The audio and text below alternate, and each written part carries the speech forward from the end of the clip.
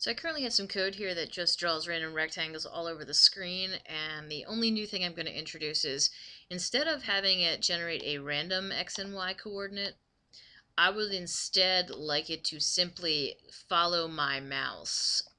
Um, and there are two built-in variables. Um, they're just mouse x and mouse y so make this mouse x and the um, capitalization is important and mouse Y. And now it's going to be a random width and height, just like it was before. But when it goes to draw the rectangle, it's going to position the upper left-hand corner directly where my mouse cursor is at that moment. So let's see what that looks like.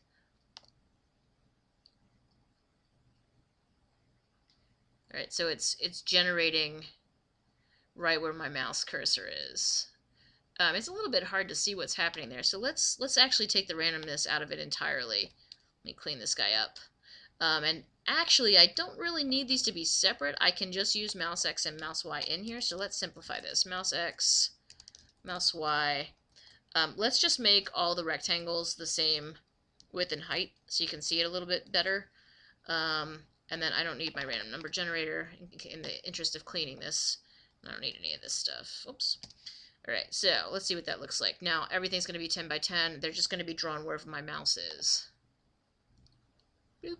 So now they follow me around. If I move my mouse faster, they get further apart because of the they're still drawing at the same rate. If I move my mouse really slowly, then they draw really close to each other. Um, so that's how you get something to sort of follow your mouse cursor.